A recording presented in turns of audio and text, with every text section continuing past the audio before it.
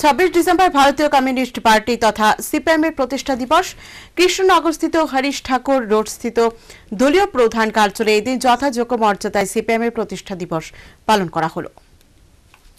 ছাব্বিশে ডিসেম্বর ভিন্ন ভিন্ন অঙ্গিকে দিনটির মহত্ববহ এই দিনই প্রতিষ্ঠিত হয়েছিল ভারতীয় কমিউনিস্ট পার্টি তথা সিপিআই। কৃষ্ণনগরের হরিশ ঠাকুর স্থিত সিপিআই এর প্রধান কার্যালয়ে বৃহস্পতিবার যথাযোগ্য মর্যাদায় সিপিআই এর প্রতিষ্ঠা দিবস পালন করা হয়।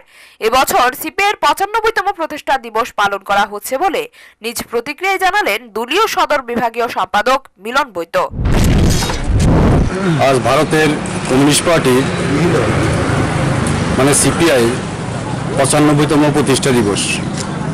এই প্রতিষ্ঠা দিবস উপলক্ষে আমরা এখানে আজকে সবাই সমবেত হয়েছি। আমরা লক্ষ্য করেছি ভারতীয়রা বিভিন্ন সময়ে বিভিন্ন দেশে বিদেশিদের সাহায্যে বিভিন্ন কমিউনিস্ট গোষ্ঠী তৈরি করেছিলেন। বিশেষ করে উনিশশো বিশ খ্রিস্টাব্দের পরে।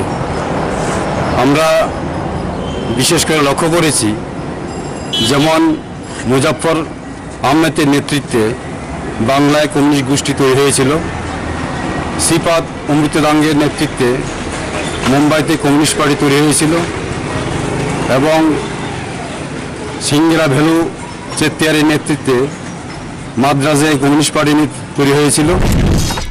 দলীয় পতাকা উত্তোলন। দলের জয়ধ্বনি এবং শহীদদের স্মৃতির প্রতি শ্রদ্ধাঞ্জলি জ্ঞাপনের মাধ্যমে সিপিআই রাজ্য কার্যালয়ে দলের প্রতিষ্ঠা দিবস পালন করা হয়। এই প্রতিষ্ঠা দিবস পালনকে কেন্দ্র করে সংশ্লিষ্ট সিপিআই এর নেতাকর্মী সমর্থকদের মধ্যে উল্লেখযোগ্য সারা লক্ষ্য করা গেছে।